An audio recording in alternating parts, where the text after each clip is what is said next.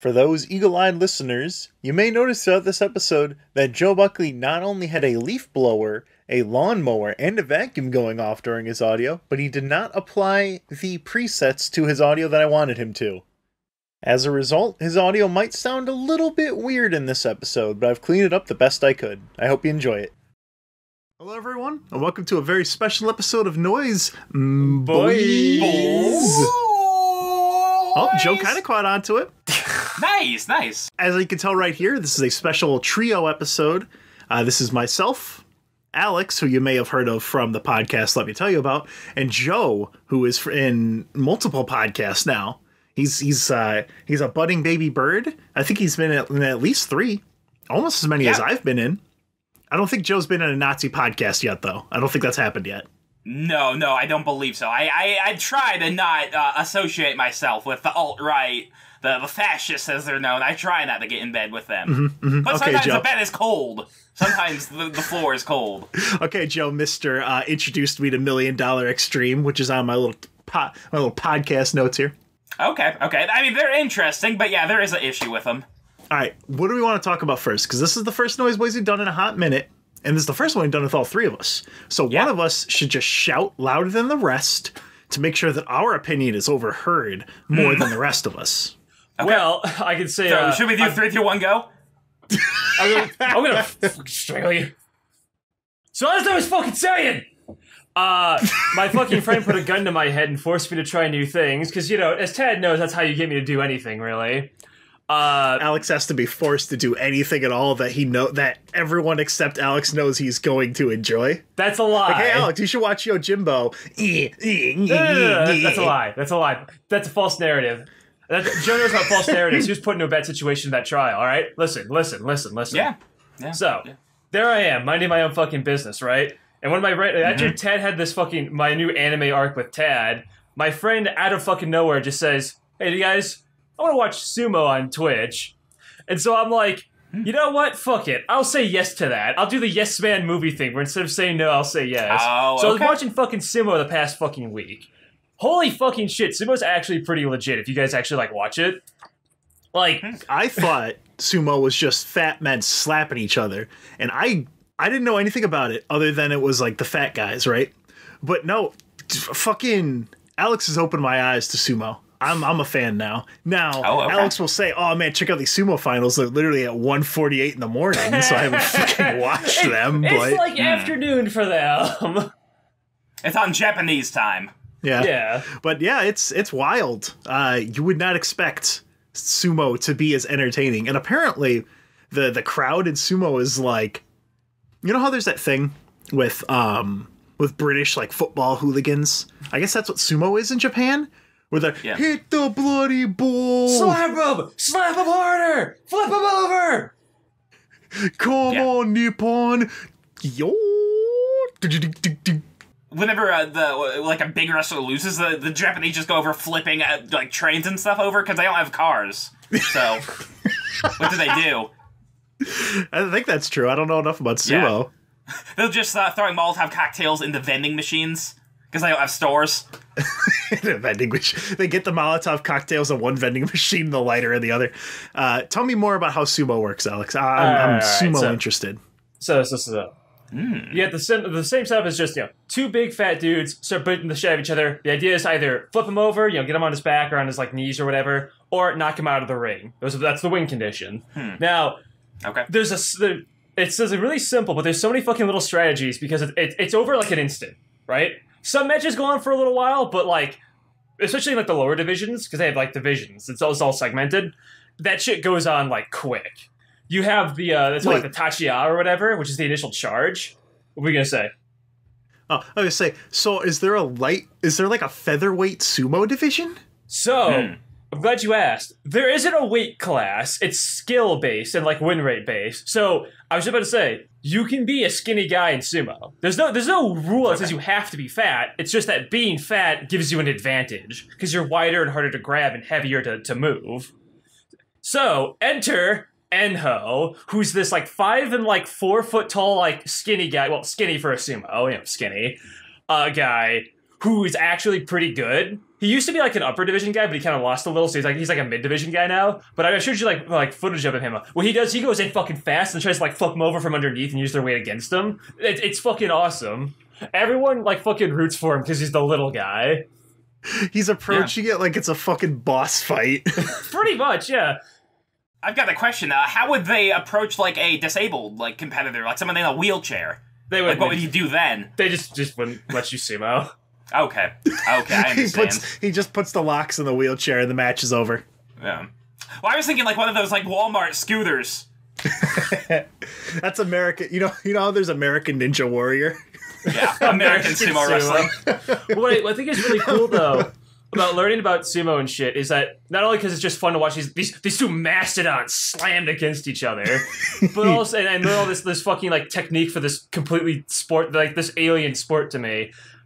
But it's interesting as like a fucking stupid ass fucking American seeing another country actually be cultured. Because like when you you don't just enter the sumo ring and then just like get your pose. You walk in there, do like this fucking mm-hmm. like dance and shit because it's like deeply rooted in their like mythology. So you have to do this thing. In fact, you're graded on it. At the end of mm-hmm. every because because they, they do the big sumo tournaments every two months. All right. So you have a one month of cool down, you know, heal up, eat up, you know, get get, get ready. But at the end of every performance, even if you went like seven and like ten, you went negative, they'll still give you like a thumbs up and a little like medal for doing like the day all the like the spiritual shit properly. It's like uh your technique, your fighting spirit, and like I think the other one was like bravery or whatever, how you handled like the charge. Like you're you're graded on this shit. So like say uh, this is a guy named Tochi who unfortunately like we all were rooting for him. He unfortunately did uh, go negative this this, this fucking uh, sumo thing, but he still got a bunch of awards for his fighting spirit because he because he fought really well. So he's so like the, the the guys who stand around the ring, they all still liked him. Shit like that. Yeah. There was a guy who went like one in thirteen this this month. It was really bad for him. But what I thought was really interesting is uh, at the end of every match, and when you get to the upper division, you are paid out. They just come over and give you a big stack of cash, and you notice as as the divisions and the and the ranks are going up, that wad was getting significantly bigger. And the guy who won the whole thing got like a huge fucking stack of fucking dollars, like this fucking big. It was huge. You had to get a bucket. Yeah, yeah. And whenever you get the money, you have, to, you have to kneel down and bless the money, and then you can take it. Because if you don't do that, they scold you for it. You don't get as much. It, it's so weird seeing all this thing. Like, just it's so weird seeing them just do all this fucking shit. What I like how is they, there's also there's dirty moves in sumo. There's a thing called the henka. It's a thing that people will boo you for. It's so there's there's the tachiai where they both jump into each other and, and bash into each other, right? Which, by the way, concussions happen a lot during that because you just fucking hit each other in the head like all the time. Oh yeah. You you just Yeah. and during that initial charge, uh, sumo wrestlers, the good ones, are in that one second as uh, faster than an Olympic sprinter. They put all their energy into one charge, and you might have noticed if you were well, you probably wouldn't because it was at like two in the morning. But in the upper division guys.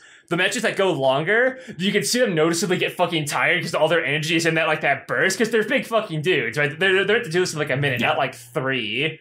But the the henka is to step out of the way. The guy goes to the charge, you just move. Just just move and knock him down. It's a dirty Yeah, tactic. Nobody likes it, but it's not illegal. You can do it, but people aren't gonna like you for it. And those guys, they ain't gonna give you team spirit medals, or they're gonna give you fighting spirit medals for that. Nah. It, it sounds like sumo wrestling. It's kind of like uh, basically two turtles fighting. Like if they either get flipped on their back or knocked out of the cage, they lose. Yeah, pretty much. They're snapping turtles. Uh, in, in terms of the wrestling thing, I have something weird. It's not quite sumo wrestling, but it's something called CZW wrestling. And basically, what this is is it's wrestling where you try to inflict the most pain on your opponent's bodies as you possibly can. Uh, that sounds so you got glass light tubes, uh, like thumbtacks all over the stage, barbed wire. I've seen people use uh, like uh, those hedge clipper things on each other. Not like shears, but like uh, the spinning like piece of wire. Oh, the the, Ooh. the weed trimmers, the trimmers. The, yeah, yeah, yeah, yes, yes. Yeah, I've seen that done. And yeah, people are just like taking handfuls of broken glass and just throwing them into their Ooh. opponent's back and faces. Ooh. Um, I used to have a uh, backyard wrestling video game where you could play as the insane clown posse. yeah, I know that fucking game. Sumo wrestling sounds like okay, you know how professional wrestling is now, where it's like this kind of cool, like everyone goes in there and they do like their poses and they've got the you know the people's elbow and all that kind of shit. I am a Um, real American. Yeah. Uh, you know, John three sixteen. He, he smashes the cold beers together and he beats his wife. uh, it's um, it's like that, but for boomers, where you know, like each time th- things get f- like escalated, right? Okay, a, a, a movie that is 40 years old. Some aspects of it can be really boring to people now, and I imagine that's kind of what sumo's like. Like at this, like I can imagine in like some traditional village in uh, Japan, the sumos come out and it's like the like the opening to Space Jam where it's like do do do do do do do ah do do do do do ah, and you know it's just like these dudes doing their doing their shit. Elmer Fudd has the basketball. God, have you seen Space Jam in a while? Do you remember that part where he sits on Elmer Fudd? no, no. It's like that Squidward thing where he's got the, the, the butt cheek impressions on him. Oh my god, that's horrible. That's sexual assault in a children's film. I'm, I'm I don't know if that actually happened in Space Jam, but I feel like it did. I think I think Elmer Fudd got sumo sat. But that's that's what I was saying is that I, I saw some fan art of Bugs Bunny stepping on Lola, and I was horrified that they would put that in a child's movie. Bugs Bunny stepping on Lola with his big giant feet and her licking her toes. It was awful, uh. disgusting. I was morally outraged. Well, I was gonna say, I, once again, I posted this at like one in the morning because so obviously everybody saw it, right, in the general chat Yeah, of a yeah. fucking public Discord. I posted it in the Discord only at 1 a.m. Yo, check out these fat dudes slapping each other. I was gonna say, what happened is someone got fucking KO'd in sumo, fucking out cold. The, the guy flipped the other guy I mean, over. that's- He hit the fucking ground hard and was just fucking face plant, dead ass out cold for five entire minutes before medics uh, showed up to, to take care of him. Wait, five minutes? Yeah, so we were trying to That's- figure out why the fuck did that take so long to help this guy out, right? Because there's a lot of people around, right? Like that's this is like a big They were gonna deal. let him die because his fighter spirit wasn't high enough. Yeah, dishonorable. However, tradition was a pro- was a big problem of it. Here's where tradition can be a problem. They needed to get a doctor to go check him out, but there was no doctor around that was male. There was a female doctor Oh. in the crowd, but a girl cannot step foot in the ring. But the match is over. A girl is not allowed to set foot in the, the big square uh, clay mat to go, and she couldn't do it to go check him out. So they had to wait, call a male doctor to have him come over there. Absolutely. Which, by the way, here's another thing where they're just bad at medicine. They flip him over, put him on a thing, and then jack him away. Which Tad knows a little bit about medicine. You don't do that to a guy who just got knocked out like that. and these are some big boys. And Yeah. and for those who i don't think we mentioned it yet you're like three feet up in the air on a clay on a clay mat. And you you you throw people off that mat and they fall. Sure, It- sure, sure. you fall off that on like your neck or your leg and you're a you're a big boy. That's it's much like your dad's ankles alex. They fall off this and and they shatter Oh yeah, and you, yeah, you have nothing that seen can be this, done. and you and anyone else who's watching my again, I posted it at twelve in the morning. Uh, you probably have all noticed that, that a lot of them have just like wrappings on like their shoulders and they're- like most of their joints, like their knees and their like ankles, because those things get sore from just moving all that weight. But as Tad saw, they get thrown off that thing sometimes. So there's no like there's not a safety net there. That's just hard ass wood they fall on, and, and uh, it's traditional to make sure that our uh, our contestants get hurt as much as possible. Why? I'm I'm still hung up on this. Five you minutes. know that you can't have a femoid because this is the most autistic fucking sport besides professional wrestling. Bras will ruin the clay. It's tradition. Why would you even have a female doctor there then? Well, no, she, Wouldn't she was you just know no, beforehand? she wasn't like she wasn't hired there. She was she was just a doctor that just happened to be there watching the sumo thing because because this was upper division, so like everyone was there. Well, is it tradition that they just die? I don't understand. What it's tradition fuck? to be as much of a bitch as possible. Okay, another thing that I was wondering about is what you've noticed this too. Sometimes they like fall and stumble out of there far. Those there's just like old men sitting around like on their knees watching the ring. One of them gets Elmer fudded. So, luckily, nobody has died. However, one of the judges has broken his ankle from a sumo falling on top of him off of the ring. So it has happened. Yeah, yeah. And in the very finals of this like current like uh you know big big wrestling event, uh at the very end, they were having a really long just just uh, uh, uh, slap fest, and like uh, they but before even that though, before even that, they had a really long prep time because you know they, they adjust their belt, they slap the side of their belt, they fucking throw the salt in the ring and shit, they do the, the dance. They were taking a really long time because it was the finals. They were both kind of like, when you know, worried about it. The judge was like, "All right, hurry up, come on, come on, come on, hurry the fuck up, come on, let's, let's do this." So they do the wrestling match. Some people think it might have been on purpose because they're getting pissed at the judge, but they grab one guy and throw to the other and trip the judge, and the judge fell off and tumbled off of the fucking mat. Yeah, good, good. I, I don't I don't I don't cry whenever a judge gets taken down. But unfortunately for that one sumo that was out cold, he is, as of this current statement, uh, temp- he's temporarily uh, paralyzed. Hmm, sure. Yeah. Yeah, in wrestling one time one time they had like a guy just on the rope and they were gonna like uh so like let him like just like kind of float into the ring and they snapped and he dropped 60 feet and died. I remember a specific old wrestler, uh, a guy named uh, Vader. This is classic. A lot of people know this, and it's actually there's footage of it too, but it's zoomed out, so you can't really tell. Uh, it's like in like the 80s or something. You might know the story, Joe. A wrestler named Vader got knocked in the face really hard, fell down onto like the ropes, and like they, they were really tight and snapped back up at him and took out his hmm. eyeball. Okay, I haven't seen that. His eyeball was out of his head, and he like he like you can see this on like the footage. It's really old, but like it's again it's assumed out it's like the 80s. But he, he's like adjusting his eye and putting it back into its socket, like holding his hand out like to stop the ring. Yeah, Put- puts yeah, it back in, and then goes back to the fucking fight. He just went back and finished the ring with this fucking busted up eyeball.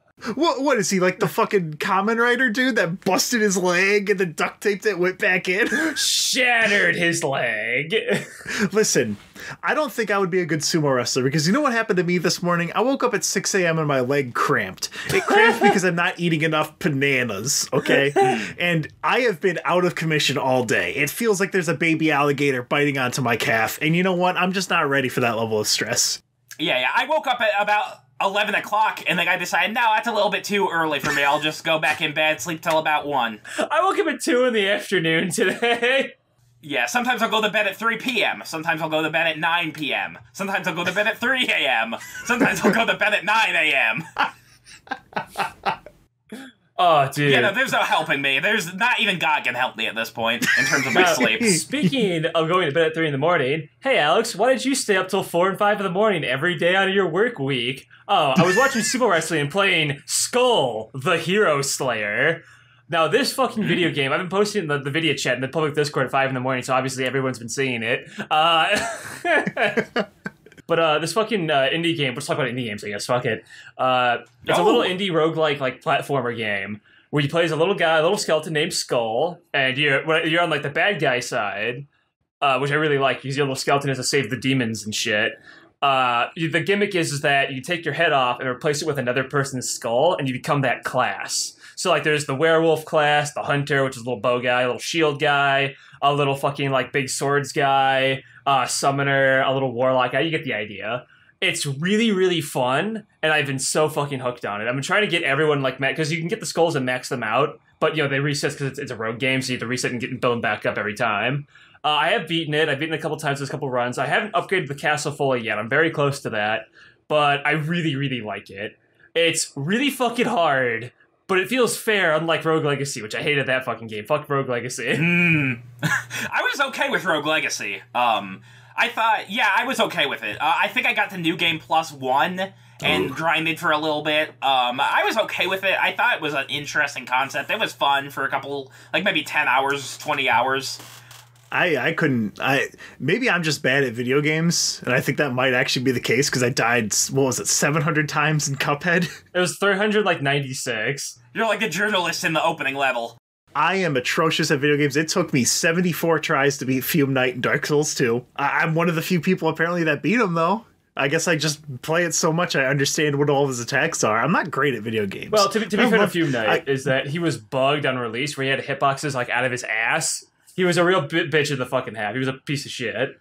Anyway, continue. Um, I'm not good at games. Uh, I was playing Ghost Runner. Well, last Noyz Boyz, I think Aleks told me about it, and it was cool. It's a cool game, and every uh, level you could see how many times you died compared to your friends, and it would be like Tad died 24 times, Aleks four. Listen, that that spiral boss was really hard. Okay, okay, the wait, one that wait, was like the, the security thing. fucking exactly. the, the the the boss you had to spiral and go up the big the big thing. That boss I died 196 times on that fucking boss. no, no, no, Joe, because I don't think you've played it. Dying is one hit. It, it- you have one health. Okay, So okay. so 196 means I just got hit 196 times. Yeah. Yeah, yeah, yeah. It's, it's not like I had a whole health bar and died that often. It's like if I literally touched the fire with my ankle, dead, gotta restart, right? So that, that's why it's so high. Fucking Rogue Legacy, I think, is bullcrap though. It, it's older though, so I guess I can't really be that harsh on it. But like, Skul feels like the direct improvement of that game because it's also like a platformer, the same thing. With Rogue Legacy, I hate that you can take damage from touching the enemies. You can't in Skul, so it's already way fucking better. Skul, like, Yeah. also, I noticed this is when I'm playing Skul. I thought the game looked kind of like familiar with its art style, and then I heard the cutscene because there's voice acting in the in the in story cutscenes. It was in Korean, and I was like, "Oh, that's why this looks kind of like Maple Story." with like its sprite art style. Like when I played like the Reaper class, which is like a really rare skull, I the way he was animated, like the little like like the cloth like waves, I'm like, this looks kind of like Maple Story, like the way, and that's probably what they were inspired by because it was a South Korean dev. You know that, that game's fucking huge over there. You know. Yeah, yeah. So that's it's probably just an inspiration thing. But I with Rogue, Rogue Legacy, I legitimately couldn't beat that game either. I'm like I'm actually on Tad's side, or I'm bad at video games with, with Rogue Legacy. Well, I'm I'm a huge rogue-like fan, so I'll play almost anything in the genre. I, I actually gotten, gotten really into those as well, but just specifically Rogue Legacy, I did not like because there was this one specific moment where I knew that this game was poorly designed. I jump up into a floor, and there was a big heavy enemy on the platform where you jump up to. So I jump up, take thirty damage, and fall back down. I was like, "Yeah, this game sucks, doesn't it?" Uh, I don't know if any of you guys saw this. Um, Shovel Knight collabed with fucking Arby's. Did you see yeah, this? yeah, yeah. Yeah. There's codes that do different things. One of them changes all the enemies into food types. Um, like the rats turn into just like ham and cheddar, and they're flying around.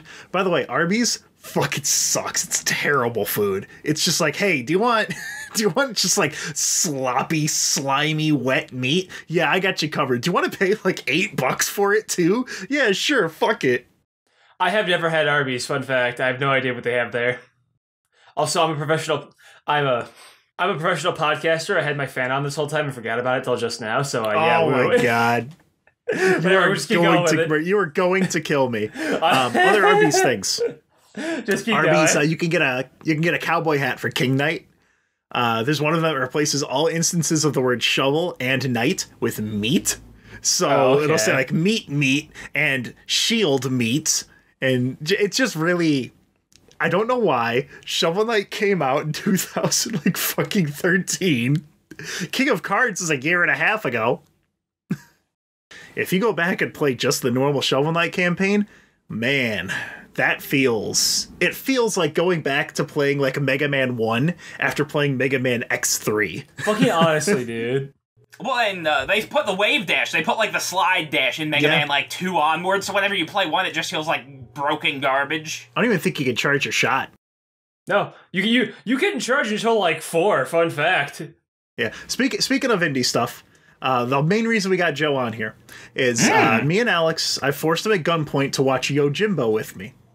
And oh, um, uh, let me just ask you real quick, Aleks. Um, this thing that I had to uh, force you at gunpoint to do, uh, did you enjoy it? Did you have a lot of fun watching this film?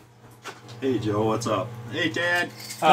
Joe's Joe's up? father just showed up on In the stream. middle of Hi, Uncle Bob. I thought you were going to his house. No, no, no. I'm podcasting.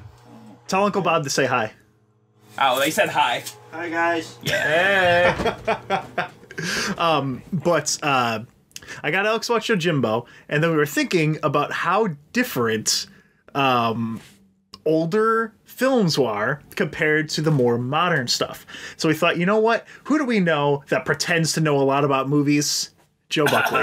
so let's talk about um, the differences between an old film, a more recent film. What what about it? What's what is it that was in Yojimbo that made it so much more interesting than some of the average poo poo garbage stinky movies that have come out recently? Back in the day, you would make you would make money making movies. I mean, now you make movies to make money. So I mean, the the movie itself is completely incidental. It doesn't matter. It might as well be uh, fast food wrappers to them. It might as well be Arby's. Yeah. And what it is is basically um, all sense of authorship is gone, which is where the director has control over his film. Um, all sense of like actually crafting a story is basically gone. It, it really all it's about is make it as flashy and loud and big as possible. Market the hell out of it. Make sure the kids want to go see it, and you're golden. Uh, I'm trying to think of the most uh, recent movies that I've been excited to actually see in the theaters. Uh, I'm ready Yeah. to be disappointed by Godzilla vs. Kong. I went and saw Okay. King of Monsters with my nephew, and he got so bored that in the middle of the movie he went, I'm bored. Where's Godzilla? I was like, you know Yeah, what, yeah, Lennon? yeah. I cannot argue with that. Let's leave. Yeah. Average Godzilla fan. But uh, Yojimbo, uh, Aleks pointed this out to me, is that there were a few scenes where you would have like 40 people on camera.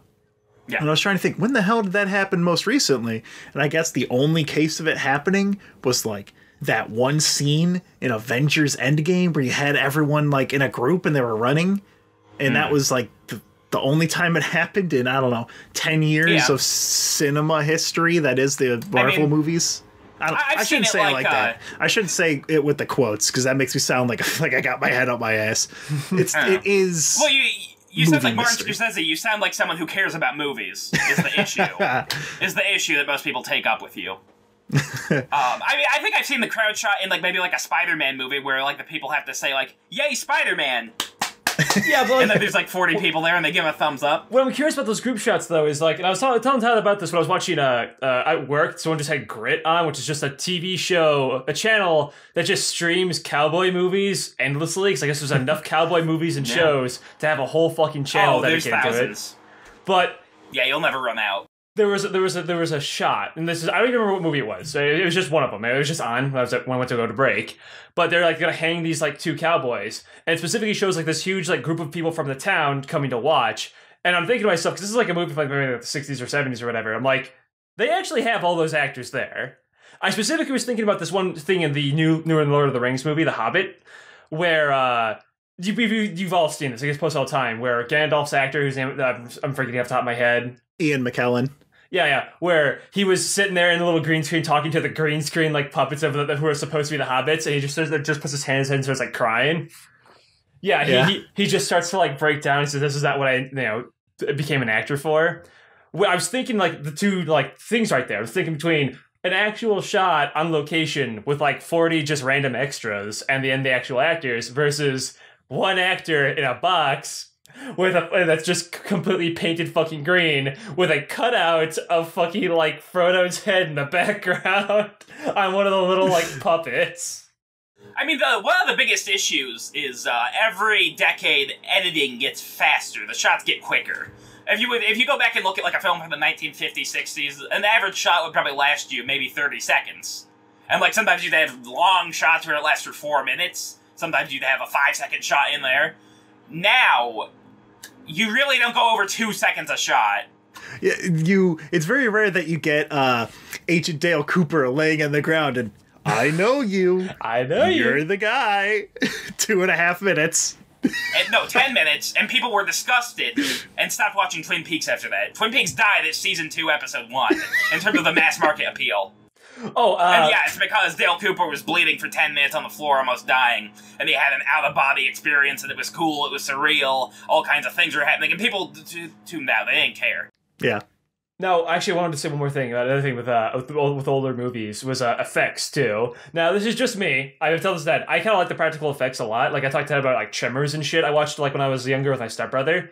I love the puppets and shit. And I like normally I'm, I'm scared of uh, spooky movies, but like The Thing and Tremors, I'm not scared of because I just think I think the puppets are just cool as shit, right?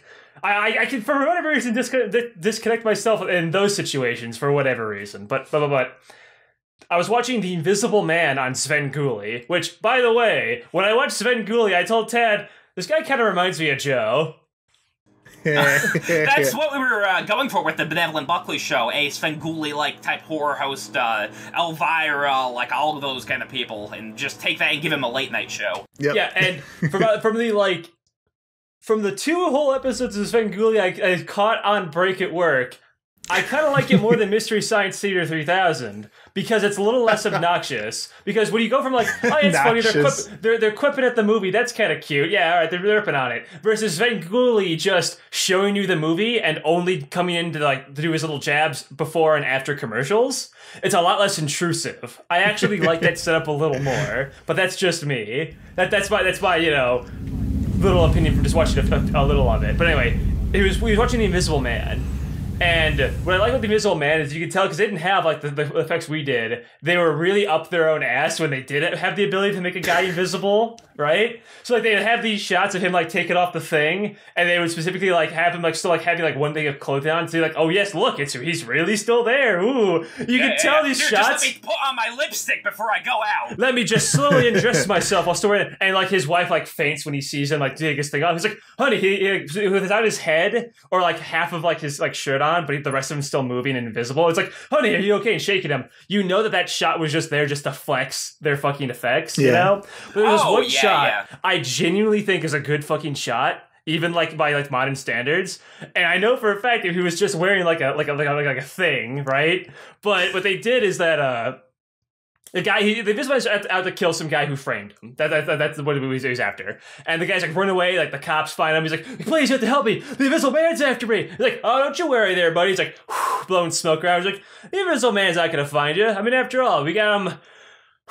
And he blows smoke to the left, and you see the Invisible Man, like, in the smoke. He's like, we got him right here. And he's like, tries to fucking, like, starts fighting the fucking Invisible Man. I love the shot of him just blowing smoke looking for him. Because you, you can tell immediately what he's, what he's doing. You just see his, just like the head silhouette in the smoke. That looked really fucking cool for, like, the fucking 60s.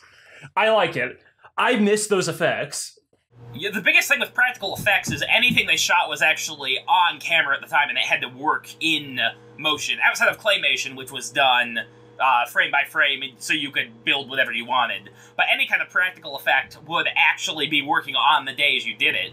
And basically, we are we're about 25 years, no, sorry, 30 years into digital effects, and we still can't get good looking blood. It's but it's they the the the lighting. It's it's shadows and that kind of stuff. I mean, if you spend an inordinate amount of time on on one thing, it can look good. Like Gollum from Lord of the Rings still looks. He doesn't look amazing, but he still looks convincing. Well, he's a creature. But I mean, the biggest issue is for a hundred dollars, you can get several gallons of good, high quality blood. But the reason why they don't do that is because it messes up the set. You got to get someone in to mop it. Uh, the actor gets sticky for a couple minutes. Leonardo DiCaprio refuses to get sticky. He's not doing it Yeah, again. Yeah, why not? In, instead of spending the hundred on the blood and doing it on the day, you could spend five hundred thousand dollars to make crappy blood instead with your computers. Five hundred thousand dollars to make crappy blood on a computer. Oh, I was gonna say you could use it on the like Clash of the Titans. They had the old '60s one. I think it was Harry something Hauser, right? Hauser, Harry yeah, Van yeah. Hauser, something like that. Um, he did a lot of it's, effects that around that time was like the first time. Well, maybe not. I don't know. Very, very early in those kind of effects. The, Yeah, the they sea used, monster they used stuff. like claymation in like 19 20 30 movies like king kong was a big claymation monster Mm-hmm, movie they used claymation before he was the one who made it look really good and really real it, he, uh, he had his own style um, the owl that was in Clash of the Titans as well, right? The metallic owl, the clockwork one. that might be the 80s clash That because might there's be. 60s clash 80s clash new shitty clash. Because the 80s and the 60s ones um, the 80s ones from what i remember was not bad. It was it was i it was not bad. it. I haven't seen it. Um but yeah the 60s one is where you have the the the kraken that shows up and it's like all green and it's all looking weird and reflecting and they they got the the room on mount olympus where you have all these funky light shows and stuff and everything looks it's a set but it's just it's shadows and lighting just like in video games you can have a game Yeah. that came out in 2000 uh, dead space dead space still looks good you could compare yeah. dead space to fucking uh, cyberpunk and it would still look pretty pretty yeah, okay it's still ba- it wins. Yeah, I mean, Crysis almost nothing compares to Crysis from uh, Yeah, yeah. 2007. Another Just game. because I got like the lighting and ray tracing and shit, shit so good. Another game that actually has really good lighting that still holds up. That's even older from 2005. Prey. yeah yeah Prey Yeah, people say Prey's real nice. it's it's all about uh and dead space was able to cheat it a little bit because it wasn't yeah, like a big everything's open like area pre-done. Yeah, because it's not an open world. Everything it's a it's a maze that you're going through, so they're able to set up everything nice. and because it's so many dead space is mostly corridors you know just like final fantasy 13 and all those you kind of know what angles people are going to be looking at things from um, when it's a big more open world it's sometimes harder to do like i even saw this in Half-Life Alyx and I could tell that they tried not to let me look at things at weird angles, but Half Life Alyx, I could have the stupid VR headset on and I could look underneath tables and like the front of the table was modeled and there's nothing behind it. And there's like cracks Yeah. in the ground that were just like invisible and stuff. Um anyway, I get a little get a little off topic here. Well, we're we're still so far away from photorealism, and I mean that goes for CGI in movies as well. I mean, even now, like the best looking stuff, normally there's a little thing in the back of your head that goes, "I know I'm looking at a video game." Basically, Mhm. I mean, I, Um, I know that this is a cartoon in a movie. uh, Monster Hunter. I saw that recently, uh, which, by the way, could finally join that elite pantheon of good video game movies. Monster Hunter was surprisingly good. I here's what I thought Monster Hunter was going to be, based off of every other video game in existence that's not fucking Mortal Kombat.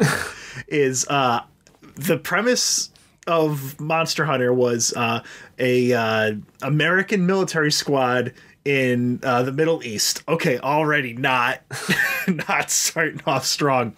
I assumed the first hour and a half of this two hour long movie was going to be them in the desert. But within 15 minutes, every single one of them die except the main character girl. And then she's like captured by spiders, and you're just already in there. And it was very schlocky and very kind of cheesy. It was surprisingly good. I, I was shocked. I need to watch the Rampage movie. Did you know that they made a Rampage movie, Alex? I heard about it, but I never got around to seeing it. I fucking you remember Rampage? That game was fucking sick back in the day. I had that shit on N64, dude. apparently it's very like schlocky and cheesy, which is good. Like the dude's like it's like you know, there's the lizard, the gorilla, and then the wolf. There's Ralph, Lizzie, and whatever George. Bourdain, don't know. Anthony Bourdain. Yeah, Anthony Bourdain. And um he's like the monkey is giant, but he's still like bros with him. So like he fucking fist bumps him at one point and shit. I, I gotta watch it. I, I love schlocky, lighthearted kaiju bullshit. Which Yeah. never fucking happens because uh, for dumb, stupid American movie audiences, we have to have these epic fight scenes that take 90% of the budget. So Godzilla's only on screen for fucking 45 minutes out of a three hour movie because I'm Legendary Pictures and I just want to shit out a Godzilla movie. I hate it. I hate it. I can't stand kaiju shit. It's almost like it's intended for literal children. I love kaiju shit. I fucking hate kaiju shit. Yeah. Uh, Well, uh, yeah, no, I was, I was gonna say like uh, Silent Hill was probably gonna be the only good video game movie, and then the studio just fucked with it. Mortal Kombat is, and I know this is not like a, this is not a fucking hot take that the Mortal Kombat movie still holds up and is still very funny. It's, It's still very enjoyable. cinema. Well, what Yeah, hap- well, what's good of. about uh, what's good about Mortal Kombat though is Mortal Kombat was kind of already in a position where like back in the day, Mortal Kombat was one of the few games that actually kind of focused on its story a little bit more, and it was already Mm-hmm. using Yeah. actors and shit for its things. So there isn't as big of a disconnect when you go into the movie. Like when I see you know actor Johnny Mm-hmm. Cage uppercut somebody, and then I see movie actor Cage uppercut somebody, I'm like, oh yeah, same thing. Right? It still works Monkey sees ya. action. Ooh. Also, I like how Mortal Kombat is now mostly like a movie thing, and uh, NRS just makes movie games now with their, that are also fighting games with that and Injustice. I mean, it works. I Yeah. Well, I mean, there's there's seven Resident Evil movies. There might be more movies than games. I don't know at this point. fuck it, dude. I don't. Okay, I saw like the first Resident Evil one when they're in the big like underground facility, which wasn't even like that accurate to the first game anyway. I remember seeing that. I did not know there were so fucking many. It's are the characters from the game other than oh, Wesker even in the fucking movies? I know Wesker's in it. I've seen I've seen him throw his fucking glasses and shit. He's in there. Uh, here's like- the here's the interesting thing. George A. Romero originally wrote the script for the first Resident Evil movie, and they just threw it away. They said it was garbage. Oh, they took yeah. the Godfather of Zombies and said his script wasn't good enough for their video game movie. He doesn't know anything about zombie movies. Yeah, yeah, yeah. He's never made one. I bet. But let's uh let's talk about the other thing that uh, I want to talk about, the Snyder cut. Now, Joe, Yeah, this is like a weird w- would you say this is like a big movie cinema thing or is this something that I just simply wasn't aware of as happening as often as it does? Director's cuts come out all the time. What normally happens is sometimes as a director you have what's called final cut. That's very very rare, but it says that once you cut a picture that you're liking, the studio cannot change it. It's in your contract. That's your cut. Can't fuck with it. It's extremely rare. Only a handful of directors get final cut. Uh, David Lynch is one of them. Wes Anderson. Um, uh, David Fincher is a big one. He demands final cut because he did Alien 3, and the studio fucked it into oblivion. They started shooting it without a script. Um, yeah, oh yeah, yeah. They just needed to make Alien Three right away. Um, but like if you don't have Final Cut, the studio can basically come in and demand any kind of changes they want, like to the pacing, uh, to the narrative. But sometimes they'll throw the director a bone after the fact, and you can release a director's cut on Blu-ray then. Um, so a lot of director's cuts are it's like 20 more minutes of footage maybe, you get more character expansion, you get more thematic world building. It's basically all the shit they chopped out so that they could put the movie in two hour blocks instead of two and a half hour blocks for the theaters. Because you make one more showing that way. Oh yeah, yeah, shit. That actually does make sense. One of the things I've noticed about this whole movie cut thing, though, is uh, we were saying reminded me what happened to uh, Suicide Squad. I don't know if any of you guys saw Suicide yeah. Squad, but that had a lot of issues because the people they hired to edit wasn't like an actual movie editor; it was a trailer company. So the movie is shot and edited like a trailer. So then the director had to release yeah. a different cut to then do the other. There, there are like three whole cuts of that movie that are all like. Apparently, I haven't seen all three cuts, so you know well, do I know. the, the but- Suicide's cut has never been released officially. Uh, hmm. this, there's only the theatrical cut. Director's cut will never be seen. DC says, and right now uh, James Gunn is working on a remake of Suicide Squad to a movie that came out three years ago, Huh. and that just got done filming. Yeah, but the, uh, as Joe already knows, that movie got fucked behind the scenes. Yeah, so there's yeah. allegedly like just three different movies. I mean, what happened with that was a director shot a movie and then they cut a trailer for it, and the trailer was real fun and colorful and snappy, and people liked the trailer so much that they thought, okay, let's take the Oh. movie we have and make it into the trailer. Yeah, and uh, so you just have like a whole movie that wasn't shot to be edited like that, and it has no thematic reason to be like that. There's nothing in the actual editing that would suggest it's like that, and you just chop it up to fit your needs, and then you just make a completely botched abortion of a movie that's two halves of something that don't connect at all in the middle. So you just have two halves of a movie Frankenstein sewn together, and no one watches it basically. So just like now the Snyder cut, me and Joe, I dragged him to see the Justice League because we were gonna do Yeah, a uh, we were gonna do a Best Boys on it, and then we never did. So I just made him actually. Uh, that movie Yeah. left a permanent mark on me because I wore my uh, Chinese knockoff shirt where it says, you know, uh, 1998, I am trash man, kill all cops, 410 billion, whatever. I, I wore Yeah. that shirt. Now it permanently has a giant grease stain on it from Mm. how disgustingly nasty that popcorn was. Was uh was that that? Oh, I was gonna say, was that the time the rat touched your feet in the theater? Oh my god, yeah, I think There it was, was. a rat Yeah, in the movie yeah. theater. Oh yeah, the one I worked at. Ugh. Yeah. Joe does this thing anytime he's given a microphone. He has to talk about how he hates his old job and how he. How badly people treat me, and how I should be respected, and how I'm a big man. I'm a big man on campus. And how he pirates movies, and he'll just shout about, "Oh, I pirated movies. Here's my pirated movies. You want my plex? Here's my pirated movies." no Yeah, more of yeah. Hmm. that, Joe.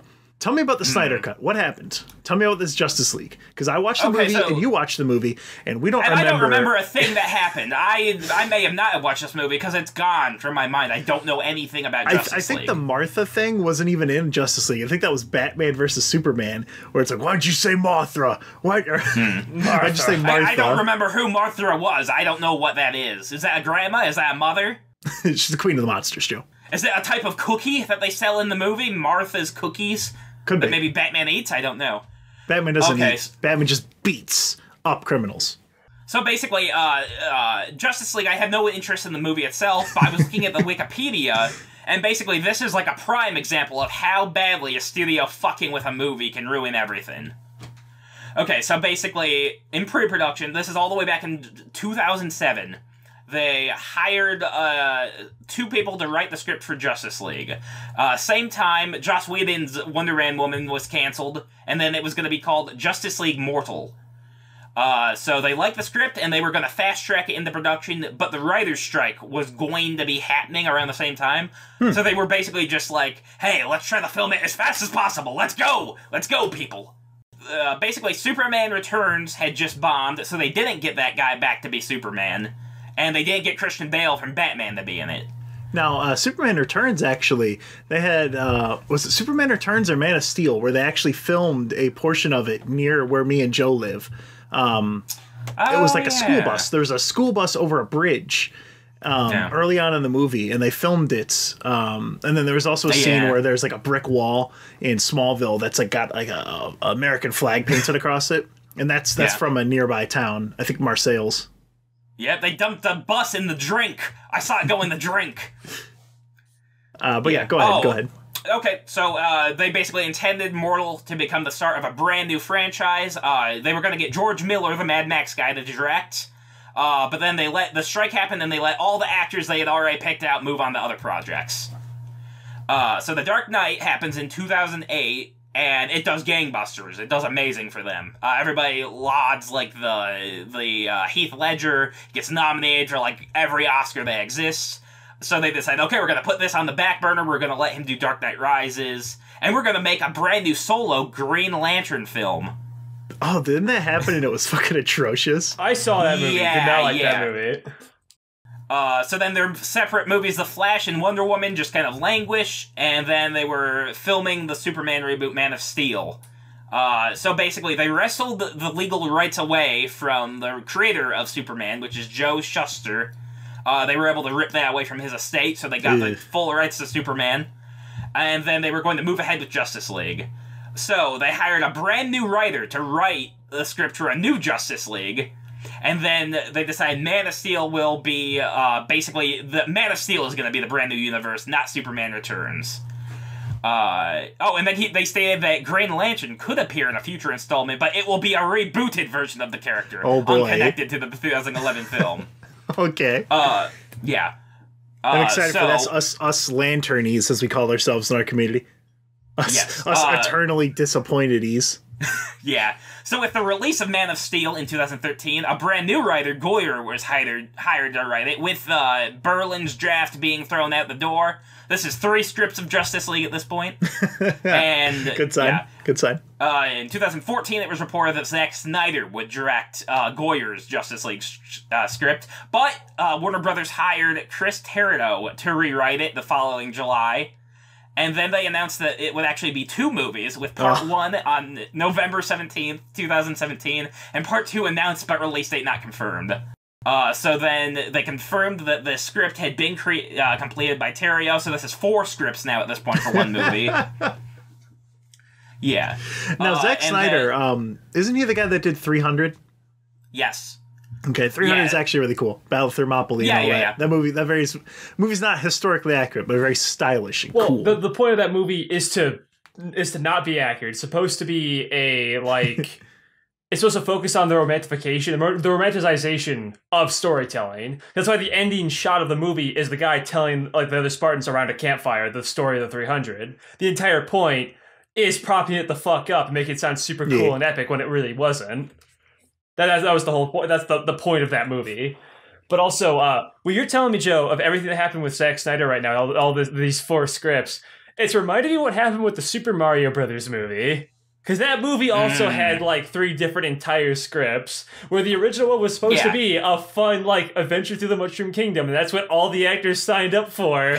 And then the third Make it script darker. Make it grittier. with a third script because Nintendo liked that. Did you know that they said that to Nintendo? They're like, yeah, it sounds fucking awesome. Because this is before you know. Mamma mia! This is before the GameCube era where Miyamoto became the, the king of the no fun police. This is back when they like to like experiment with things. They don't do that anymore, obviously.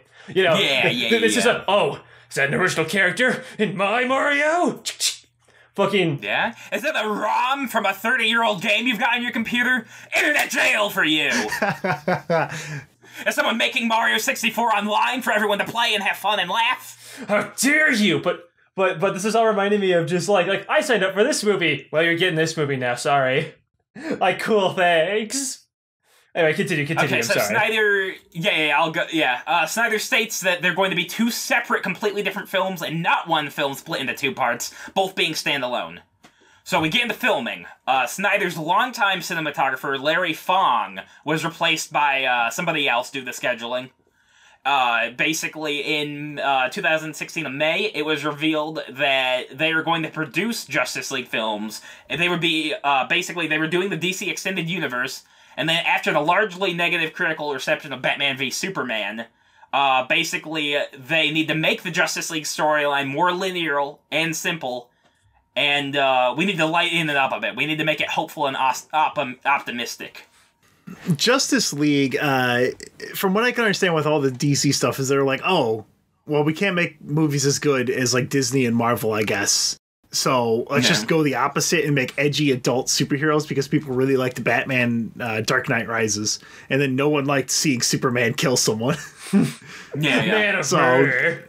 yeah, man of murder. Snapping Zod's fucking neck. Yikes. Yeah.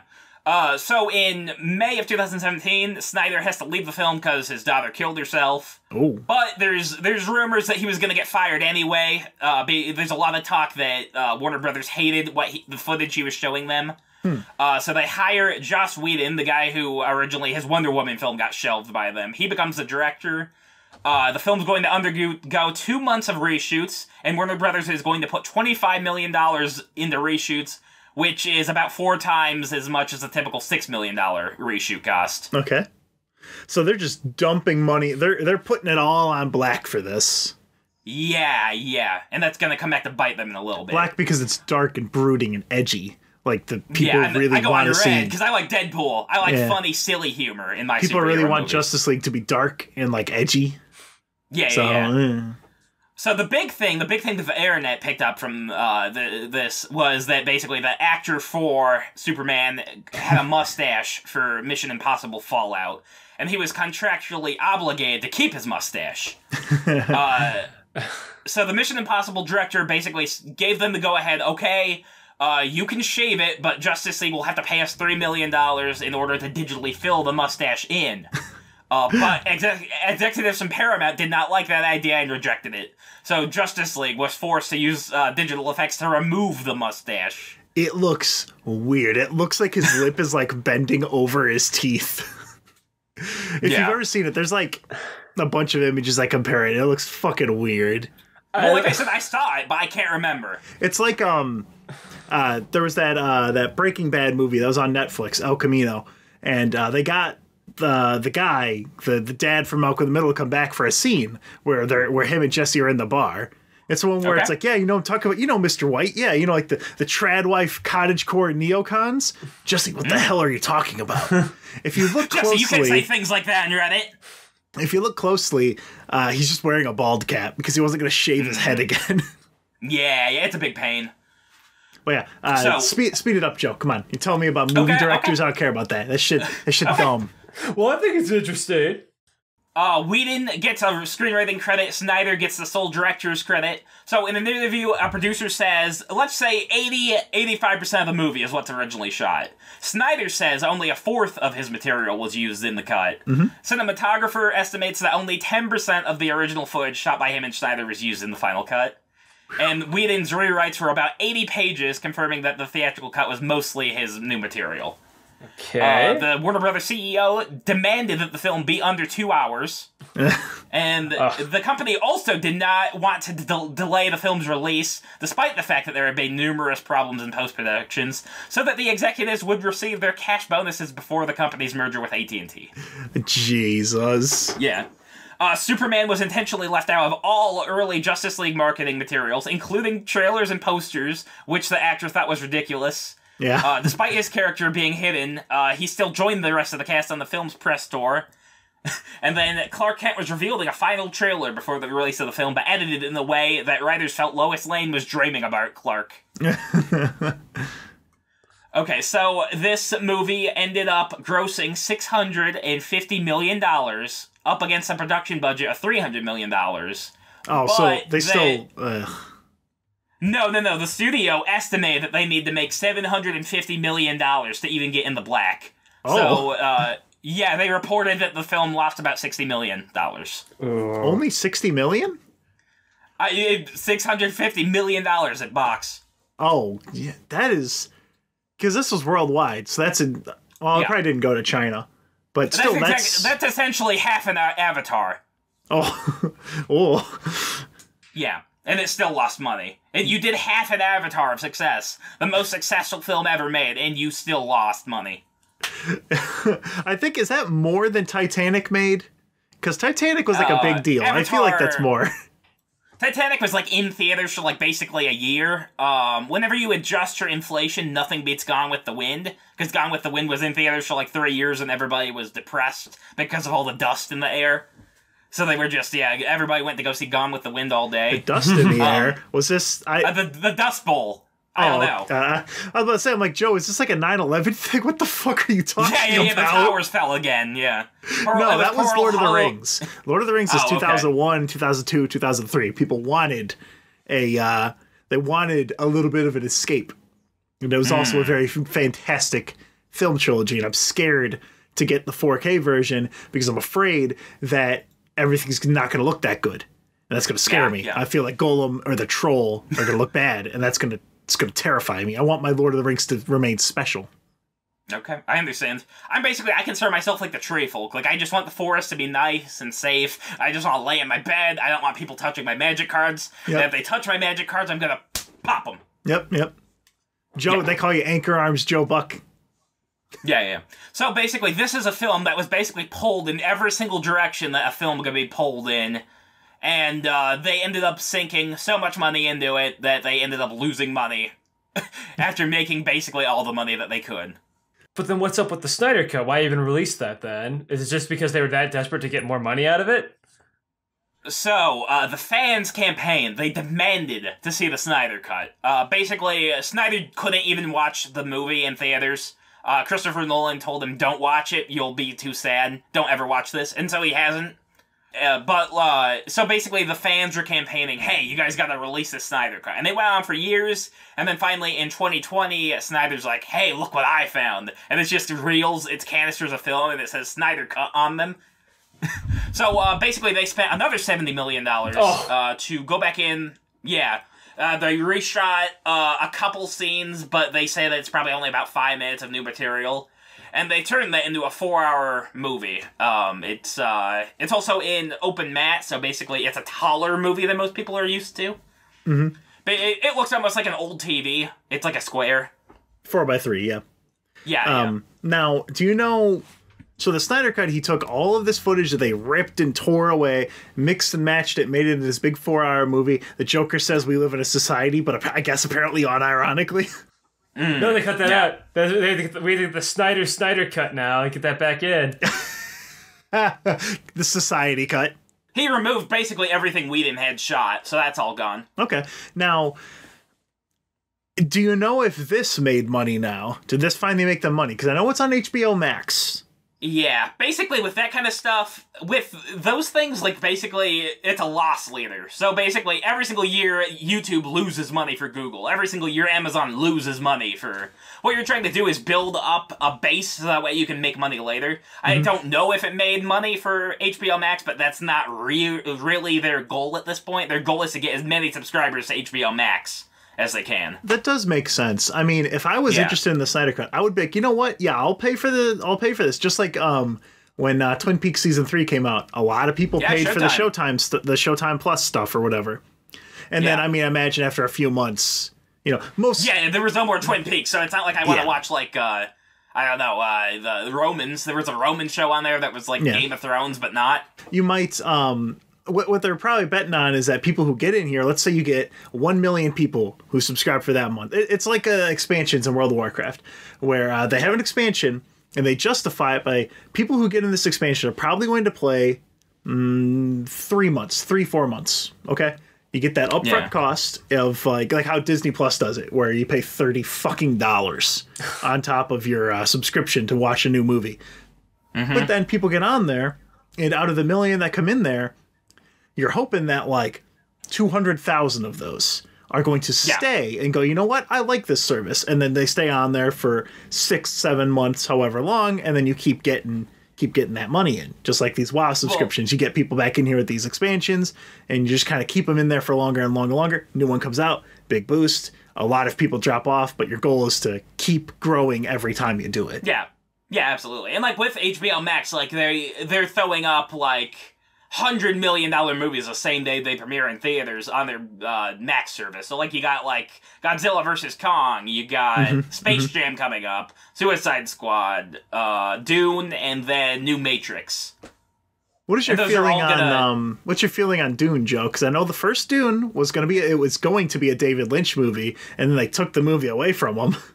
Yeah, oh, it yeah, same exact thing that happened with with uh, Justice League, basically. I mean, the very first Dune was going to be by Alejandro Jodorowsky, who's basically a crazy Spanish guy who does weird art house films, and he was going to make the ultimate Dune film. He did um, The Holy Mountain, which is a movie I was going to yeah. get Alex to watch, which is just wild.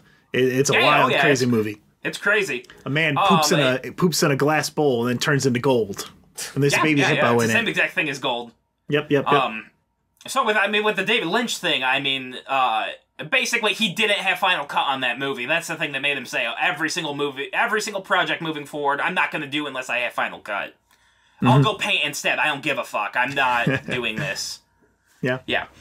And yeah, they. I. I mean, myself. I mean, the only connection to Dune I have is through David Lynch because I haven't read the Dune books. I don't really care about Dune. I don't know anything really about the major, the major lore or anything. I know it's a very important sci-fi book, but um, yeah, It's um it, it is an important sci-fi book. From what I understand of it, it's like, hey, uh this is just a quick Dune quick Dune recap, I guess. Um there's this planet that is really, really important because you can get this spice that is used for like faster than light travel or something. And the Yeah. only place you can get it is on this desert shithole. And if I remember right, it's sandworm poop. or something. It's something like that. So it's like this whole political maneuvering thing where it's like whoever controls the spice controls the galaxy because they have faster than light bullshit. yeah, yeah, yeah. So Yeah, and it's, It's like interesting. I, I don't really. I saw Dune, but I didn't really see Dune because I was doing a live commentary over my first time viewing with Ah. uh with uh yeah the uh Clash of the Commentaries. okay, um, yeah, they just they tricked me. I thought I was gonna do uh the uh it was like uh what was the Grumpy Cat movie. I had the Grumpy Cat movie on the USB stick, and I was gonna fool Ryan with it, but they tricked me. All right. are there any movies, Joe, that are coming out that you think are going to be interesting? Are there any of them in the ever? Is, is there a single movie coming Sure. out that you think is worthy? Uh, there is. is it Tremor Seven? No, it's not that. It's uh, anything by Paul Thomas Anderson, uh, maybe a Coen Brothers new movie, David Lynch, anything his project, uh, Martin Scorsese. Martin Scorsese's working on a new film. Basically, the only thing I'm interested in is directors who have proven themselves before. you don't want to give new people a shot, Joe? You don't want to give the indies? I will. I'll give them a shot. I liked Hereditary. I liked uh, uh, Get Out. I yeah, I, I'll enjoy a good indie. But like, if if I'm gonna go into a theater and the movie costs a hundred million dollars, basically it has to be from a director who I care about to go see. Because otherwise, I know I won't care about the movie. Who did The Lighthouse? That was uh, Rob Egger. He did The Witch beforehand. Okay. Lighthouse is very fun. I'm going to trick Aleks into watching that at some point too. I think he'll enjoy it. Yeah, yeah, yeah. Yeah, There's a, probably. there's, um, very yeah. there's a cut scene from there that had a fully erect penis. They had to cut it Yeah, out. yeah, Nice. yeah. Absolutely. That, too dirty. Too dirty to be seen on film. We must censor that for You can uh, have a for the penis, viewing audience. but if it's erect, that's NC-17 Yes. or X. I You forget can go half erect. You can go half erect. half mast. Uh, in Midsummer, they actually he's got a basically erect dick with blood on it, and they let that slide. Hmm. I don't remember. Oh, Yeah, was yeah. that the the the the, The guy who was fucking the virgin, the yes, boyfriend. Yes, I remember that. Midsummer is Yeah. a weird movie, Aleks. That one I wouldn't recommend because I think that's that's like Mm-hmm. skipping. It's like you ever seen that meme where it's like the guy going up six steps at once. Midsummer and Hereditary are like at the very top there in terms of like spooky, disconcerting. If you're going from like the scariest movie you've ever watched is being like like the Invisible Man and Tremors. If you're Yeah. going to that, that's a big jump. Yeah. Well, I mean, Midsummer, Midsummer, and Hereditary aren't scary movies. They're That's deeply incorrect. disturbing movies. No, no, no. They're deeply disturbing. Joe, shut up. oh, I Joe, think- Joe, get your head out of your ass. No, no, no. I mean, here's what I'm saying. They never set out to frighten you because something I- bad is lurking in the darkness. They, eh, they aim to frighten you because man is a deeply flawed species, and there is nothing we can do to fix that. And that's the frightening hmm. thing about those movies. yeah, just like you know what I'm frightened of, Joe. What, my voice, my uh, loud voice, me spiking the audio, me ruining the audio, me breaking the podcast? Yes, What? yes, Yes. yes. That is actually fuck. He got he got me before I could say it. Damn it. Uh huh. Yep. I know all your tricks. I know what the people are gonna say to me. yep, yep. Hey Joe, you need to bathe more. hey Joe, why don't you try trimming your nostril hair? Hey Joe, that attire's now uh, pu- uh, publicly pleasing on you. You should just put on a burqa. Yeah. that's what that's what Joe calls the face mask that he has to wear to go to the gas station to buy his energy drinks. He calls them burkas. You call it a fucking burqa? I was just thinking. I was just thinking in terms of five XL T-shirts. like you need to cover yourself more. I actually, um, I actually do call my face mask a burqa, but. But I do it because one of the podcasts I listen to is a bunch of angry old white men, and they called it a burqa, and I do it ironically because it's funny to me. I just call it a Nah, sissy hypno mask because it's funny. Oh, speaking Yeah. of sissy hypno, um, is there anything else you guys want to talk about, or I guess we could end this one? This was uh, this is a fun I'm episode. okay. It's the I'm first fine. time. Yeah, I'm fine. I mean, uh, in in in my closing.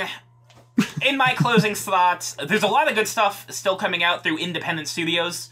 That's actually how we got a lot of the great movies that used to be made. Is that a smaller studio would actually make, uh, pay for the money to direct it, finish it, and then a big studio might glom onto it and pull it in the theaters. Now that doesn't really happen anymore. Uh, good movies don't really come to theaters. They hit streaming, they go on Blu-ray, but in your average town, you're not going to be able to see a good movie in a theater. And unfortunately, with COVID, theaters are dying anyway. Yeah, I mean, every single year, even before COVID, theater attendance gets lower and lower because people who don't care about movies have better stuff to do. They can kick rocks outside. they can play. Disc golfing is big now. A lot of people moved on to disc golfing instead of movies. they can play Fortnite. Yeah. So, I mean, us cinephiles, I mean, we're always going to be there. We're always going to be up our own asses demanding quality from the things we watch. I mean, uh. I, I basically, whenever I want to f- watch a film, I basically want it to try to hurt me as much as it can. That's mhm. my idea of a good film. I want to be hurt. That's why Joe just watches when he wants to get the emotions out. He just watches a video of a salad. Hmm. Yeah, somebody's stirring it and like, yo, you're gonna eat it, Joe. You're gonna eat it, Joe. Eat your greens, Joseph. Uh, all right, Mm-hmm. Yeah. so this was a little weird experimental thing. We had three people. It's not something we normally do. oh yeah. we recorded it on video here uh, through Discord to try and stop us from talking over each other, but Discord just like kept lagging, so we It did lagged. it anyway. It- yeah, so it it didn't really help anything at all. But um, was fun. It was fun.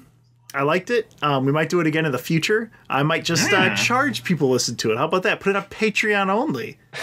Just Yeah, start yeah. greedily rubbing my hands. yeah, Um, charge people for the privilege to see us sitting down and moving our hands sometimes. Thanks for the two It's dollars, stroking my beard. No one, I don't think the podcast people have seen my beard unless they watched uh, the Joe Buckley show over at Malevolent Movies, which we've been doing the Yes! trial of Yeah, Joseph yeah, yeah. Robert Buckley um, with his lawyer, me, So- but I had my hair slicked back and I pulled a gun on him at one point. Yes, yes, you did do that. So uh, I I'm over at Malevolent Movies. We basically do uh, basically funny reviews of bad indie horror movies. Uh, I'm also on the Man with No Brain, which is where my friend Ryan Ziegler basically tries to get into my noggin, find out what makes me tick. And I'm actually ready to announce this. Uh, coming in the future, I'm going to have a podcast called Passing the Buck.